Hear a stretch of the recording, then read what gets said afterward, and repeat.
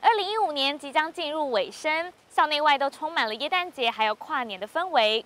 很多人可能都有过在耶诞节和朋友交换礼物的经验，不过到底要怎么样挑选礼物才算是最特别的呢？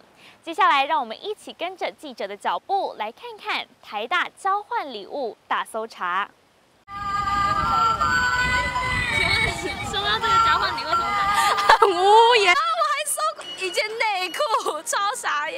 我也不知道那人在想什么。我收到最烂。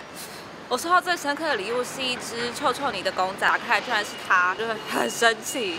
哦，交换礼物吗？哦，我收过生的秋刀鱼啊，就是还有血的那种，炸掉啊，然后全部都是鱼腥味啊。那你对送礼物的人说了什么？圣诞礼物哦。好像，我好像一次都没有人送过我圣诞礼物哎。为什么？为什么没有人送我礼物？为什么？为什么？啊！交换礼物是圣诞节中的重头戏，精心设计的规则不仅能拉近朋友间的距离，往往也是年度最深刻的回忆。太有趣！好，我要抢，我要抢！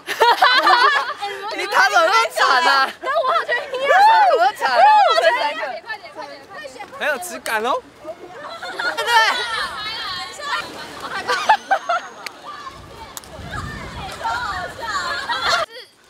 令人印象最深刻的礼物，可能是最傻眼、最吓人，也可能是送礼送进心坎里。